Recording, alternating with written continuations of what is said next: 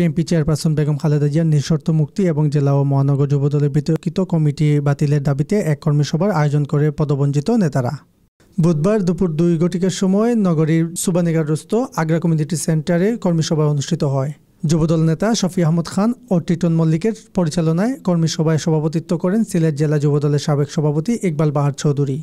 এ সময় আরও উপস্থিত ছিলেন যুবদলের সাবেক সাংগঠনিক সম্পাদক সাদিকুর রহমান সাদিক কেন্দ্রীয় ছাত্রদলের সাবেক সহ সভাপতি মাহবুবুল হক চৌধুরী, ছাত্রদলের সাবেক কেন্দ্রীয় সহ সাংগঠনিক সম্পাদক শাকিল মুর্শেদ সহ অন্যান্য নেতৃবৃন্দ। বক্তারা বলেন, যারা দুঃসময়ে দলের জন্য কাজ করেছে, আন্দোলন করেছে, বারবার কারাবরণ করেছে, তাদেরকে মূল্যায়ন না করে অযোগ্যদের দিয়ে কমিটি গঠন করা হয়েছে। কমিটি গঠনে সিলেটের স্থানীয় যুবদলের নেতাকর্মীদের কোনো মতামত গ্রহণ করা হয়নি বলে তারা জানান। আমাদের নেতা, দেশনায়ক তারেক রহমান সাহেবের পঞ্চান্নতম জন্মদিন, এ উপলক্ষে আমাদের একটা দোয়া মাহফিল ছিল। পাশাপাশি শিব বৈগত পয়লা নভেম্বর আমাদের জাতীয় জাতীয়তাবাদী যুবদল সিলেট জেলা এবং মহানগর শাখার কমিটি, বিএনপি নেতাদের দিয়ে কমিটি গঠন করা হয়েছে। তার প্রতিবাদ স্বরূপ আমাদের যুবদলের আপামর নেতা কর্মীরা এই কমিটির বিরুদ্ধে অবস্থান নিয়েছে। এই হিসাবে আমাদের সেটা এই উপলক্ষেও আমাদের আজকে একটা কর্মী সভাও ছিল। এটাই আজকে আমাদের মূলত কর্মসূচি। বিএনপি নেতৃবৃন্দকে দিয়ে আমাদের যুবদলের মহানগর এবং জেলা কমিটি গঠন করা হয়েছে। এখানে আমাদের উনিশ বছরের ত্যাগী পরিশ্রমী, পরীক্ষিত এই দক্ষ নেতাদেরকে একবারে সমূলে প্রথম থেকে শেষ পর্যন্ত কোনো নেতাকে আমাদের পুরাতন যুবদলের রাখা হয় নাই।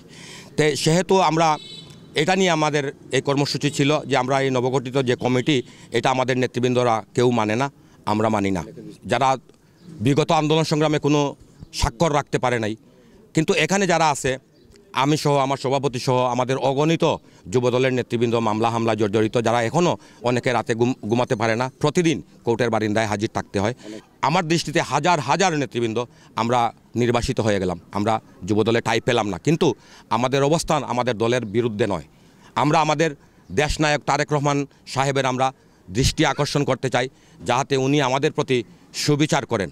আমরা আগামী আন্দোলন সংগ্রামে, আমাদের দেশ নেত্রী বেগম খালেদা জিয়ার মুক্তি সংগ্রাম আন্দোলনে আমরা এই ত্যাগী নেতৃবৃন্দ, আমরা অতীতে যেভাবে ছিলাম, তার চাইতে বলিষ্ঠ ভূমিকা ইনশাল্লাহ আমরা রাজপথে রাখব।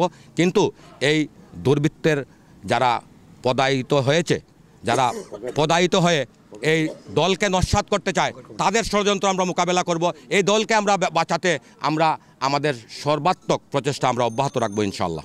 কর্মী সভা শেষে বিএনপি ভারপ্রাপ্ত চেয়ারম্যান তারেক রহমানের পঞ্চান্নতম জন্মবার্ষিকী উপলক্ষে দোয়া মাহফিল অনুষ্ঠিত হয়।